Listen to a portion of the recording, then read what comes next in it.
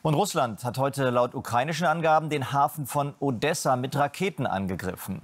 Dabei hatte Russland erst gestern in einem Abkommen über Getreidelieferungen versprochen, die Schiffe über einen Seekorridor fahren zu lassen und Häfen nicht zu beschießen. Aber zwei Raketen sollen nun heute die Infrastruktur des Hafens getroffen haben. Zwei weitere seien von der Luftabwehr abgeschossen worden. Damit habe Russlands Präsident Putin der UNO und der Türkei ins Gesicht gespuckt. Zitat heißt es aus der Ukraine. Gestern hatten die Ukraine und Russland eben dieses Abkommen in Istanbul über die Ausfuhr der rund 20 Millionen Tonnen Getreide unterzeichnet. Beteiligte Schiffe und Häfen dürften demnach nicht angegriffen werden.